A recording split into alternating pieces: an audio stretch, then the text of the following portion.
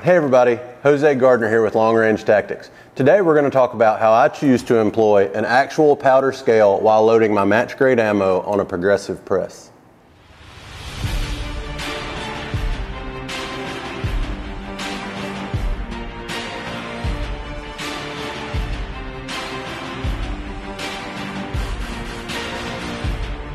Okay, so as I mentioned today, we're going to talk about how to incorporate your scale into loading with your progressive press. For, for what I'm talking about here is match grade rifle ammo. Obviously, a lot of people are familiar with progressive for pistols, for something high volume like a 223 or something. But I actually load all of my non-magnum calibers on my progressive, uh, even for my uh, PRS style or just long range shooting capabilities. What you're used to seeing when you see a progressive is some sort of volumetric measure, usually in one of these positions, and it's activated by a case being bumped into it. And a lot of people will kind of knock the volumetric measurer, for, especially for like non-ball powders. You hear the term doesn't meter well on your powders. And that may be true. I think obviously the better you get at reloading and understanding nodes and all that, volumetric can be used just fine.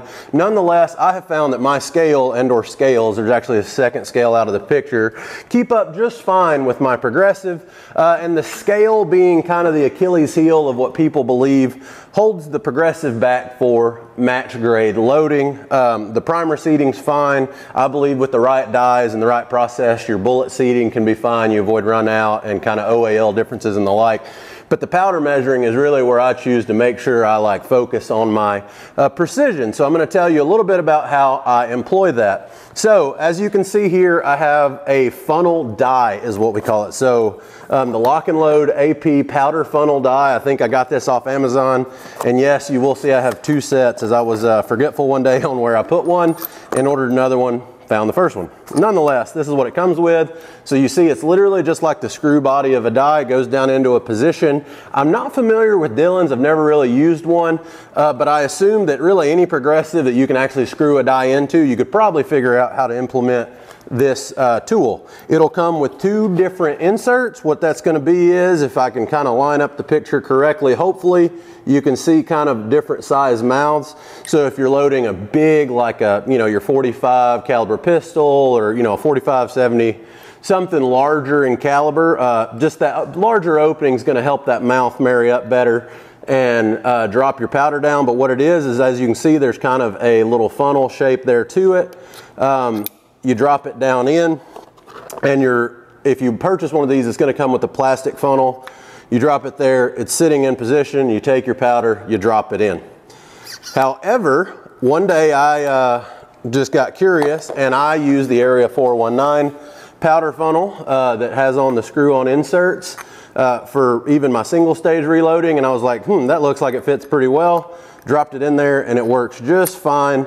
And what you'll find is obviously that the um, non-plastic funnel is gonna have obviously less static issues, as well as it just has a larger mouth, which means especially your powders that are larger particle sizes, as well as any powder in general, is just gonna run through it faster, less clumping. It's gonna speed up um, your reloading process. So that all being said, um, I'm going to walk you through my process for how I uh, throw on my progressive really quickly. Okay, so as I mentioned, here's my priming position, right? So I'm gonna run my press to prime that case. This case is now gonna move up into my funnel die while the previous case actually seats. I'm gonna take my powder, drop it in my funnel. It went straight down, no clumping or any stopping to be uh, concerned about. I go ahead and take my bullet, seat it, prime my next piece, come up nice and smooth. Now I've seated this piece. My Charge just finished. It was that fast, no really waiting to be concerned about. I take it. Now make sure I prime my next one.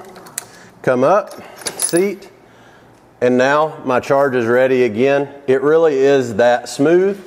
Um, some tips, if you really want to go fast and don't mind spending the money, you can get a second scale, whether it's a second matching scale, or I actually have um, a different kind of scale and what I do before I reload on big batches. Let's say I'm going prairie dog shooting or loading for, you know, a carbine match or something like that.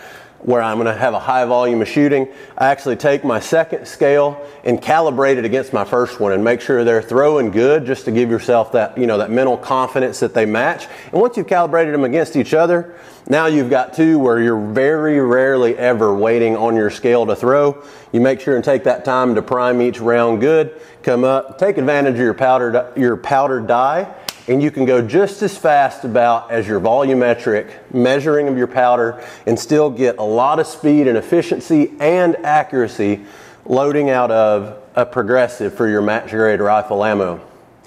Okay, so one more note that I want to make sure I share that I think helps quite a bit. As you can see, this bench and this bench are not connected, clear separation, and this helps, I believe, definitely my speed, uh, and it definitely helps avoid uh, precision issues when it comes to the powder throwing. And what I'm talking about is, as you'll see, obviously, when I run this up, my bench shook a little bit, right? There is some level of vibration introduced. I used to run these on the same table and I noticed that sometimes the charges would be slower than others, and I believe it depend on how much vibration I introduced into the system. The scale is very sensitive. It has to be to be very precise, and it would actually stop because it was trying to make sure that it did its job right. At least that's the logic I tell myself. Nonetheless, you can imagine that a scale does not want vibration to work right.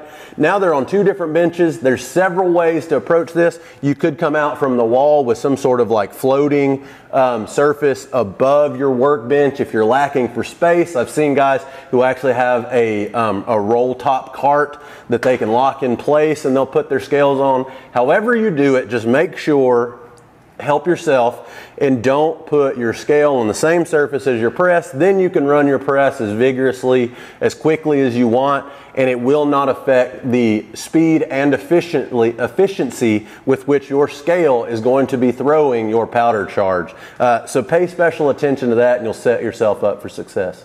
So, I hope that was helpful. I uh, hope you enjoyed this. If you have any other ideas or any questions about the process, feel free to give us feedback or idea topics. I'll cover whatever you would like.